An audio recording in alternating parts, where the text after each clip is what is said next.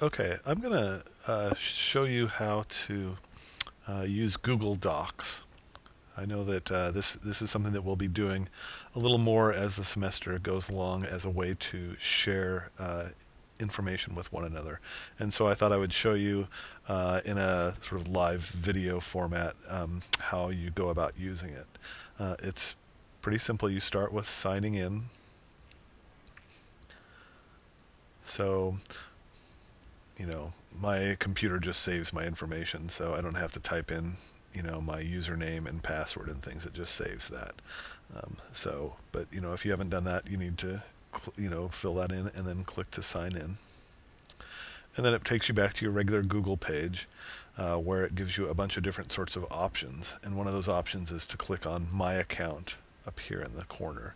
And so, if you click there, it will take you um, to a page that you know says you know your Google account here um, gives information about things um, and lets you you know edit that information. There's also this section here for my services, right? Um, and you're allowed to edit that as well.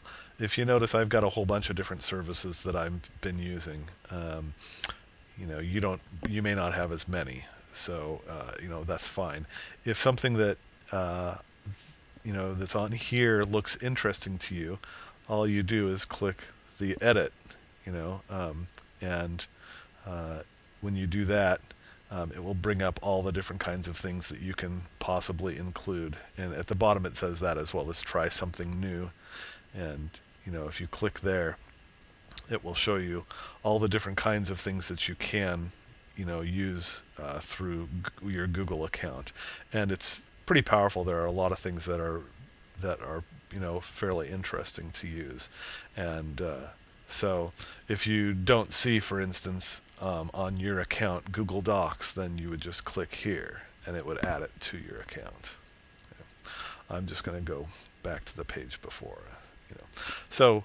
Uh, as again, if you haven't added Google Docs, then you would do it the way I was just showing you. Um, but once you do have it here under your services, you click on it, and it's going to take you to a page with all of your Google documents. Um, now, if you're new to Google Documents, then that may be, you know, very few documents that show up. Um, uh, I have, uh, you know, sort of a lot. Um, I guess 175 right now. It looks like, according to this bottom thing. Um, but so there's, uh, you know, you'll get this list of different documents that you have.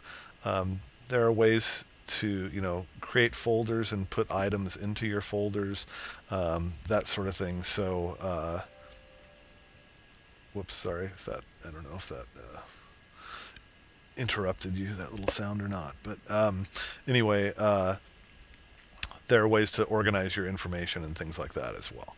Um, but so if you want to edit a document that you already have, you just click on it. Like here's our contact information sheet. Um, and you edit it just like you would, you know, a Microsoft Word document. If I want to make this bigger, I can highlight it and come over here. I think this is the text size one. Yeah, and you know, make it bigger. When I'm done, I click save and Shazam, it's done.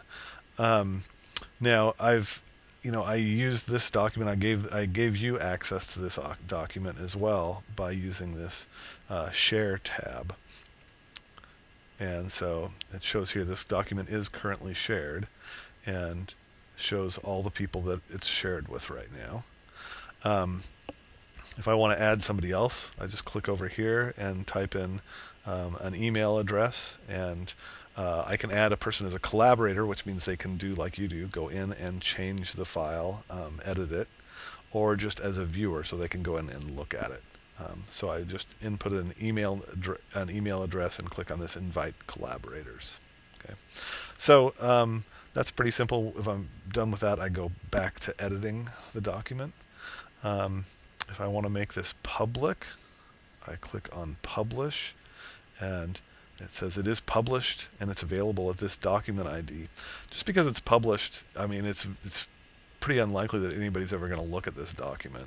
Um, the only people that would get it are the ones who find this address. Um, Google doesn't crawl its documents and put them into search engines and things like that. So, um, so it's just a, uh, you know, it's a way for us to, to all have access to this document. So that's uh, that's the share and the publish tabs. And again, I'm going to go back to editing here. Um, over here, while you are editing, um, you know, if I was going to type something else at the bottom here, I might um, put, you know, additional information or something.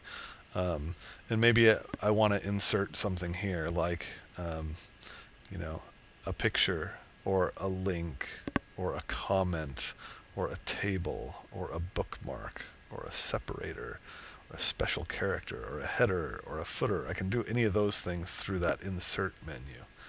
Um, if I click up here on the title, it brings it up and lets me um, and lets me edit the title if I want to. I think it's okay the way it is, so I don't need to. But that's always there when you put your uh, mouse up there. It turns pink like that and lets you lets you change it. Um, there is a tab here for revisions, and you know it shows that this is this document has been revised 43 times, which is pretty remarkable, right? Um, and so um, most of them by me, but a couple of by one of our uh, class members. Um, so there's, you know, it, it, shows what the changes are in things, and you know, if you wanted to, uh, it could, you know, you can compare two versions, like the first version and the current version, um, and click on compare, and a page will come up and show you um, the things that have been added or or deleted from it. Um, so that's uh, you know a way to um, a way to sort of understand the kinds of things that are happening, and you see that it, it identifies you know the stuff that's in this sort of uh, I don't even know what color to call that tannish color or whatever is me. Uh, the stuff that is in in blue is not me. So I mean that's you know it's a way to sort of look at that. And you can go back to the revision history um, and uh, and then um, you know anytime and look at a particular um, right because this is just the two that I was looking at um, and uh, you know you can click on any of those revisions and you can see um, if I clicked on this one, it would show exactly what, um, it would show me what the document looked at, like at revision 36. Okay. So, go back to the editing mode here. I'm just going to click um, save and close, and it's going to close up the document. Um, two other things that I thought I would show you with this is that uh, you can always create a new document just by choosing new and then start typing away. Um, documents from, I mean, the things here in Google Documents um, can uh, can always be um, upload or I mean can be downloaded in a variety of formats. You can download a, a document. If we go back into this one again and look at it. Um,